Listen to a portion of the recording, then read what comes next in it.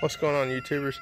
Recently built a 24 uh, foot utility trailer to, to pull our side-by-sides on and then mount some hooks in there.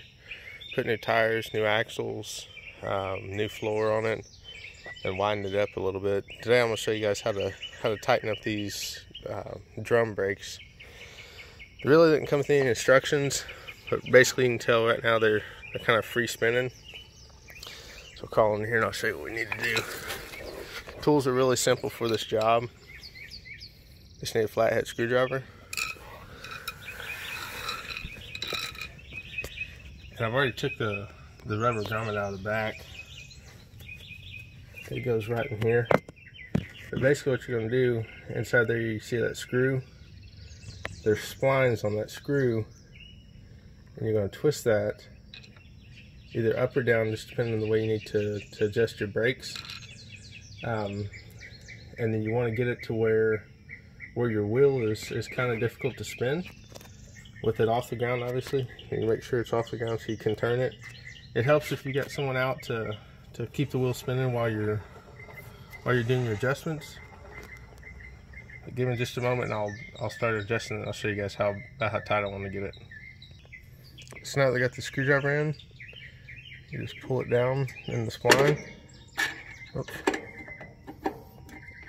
kind of got to fill around in there because you can't really see.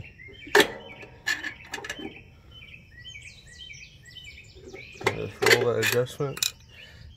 Check the wheel, check the tire every now and then. Oh, we're starting to get starting to get some drag on this. We're almost there. All right, so we got it where we want it. Now you can hear it dragging. And with these being brand new brakes, I'm gonna them just a little bit tighter. I'm gonna go pull it down for a little while and then bring it back to the house and adjust them if I need to. But really, there's there wasn't much information on these things.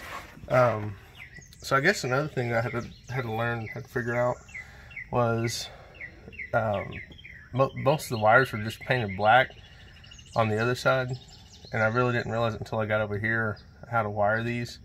Um, when you're wiring them up, just make sure you got a good ground, and then you got your power coming into them on the correct line on the other side it was it was all just it, it all appeared black until I started scratching back the uh, the paint once I realized there was paint all over it. But I hope that helps you guys um, adjust your trailer brakes and again I mean just uh, just keep a watch on them if they're they're dragging.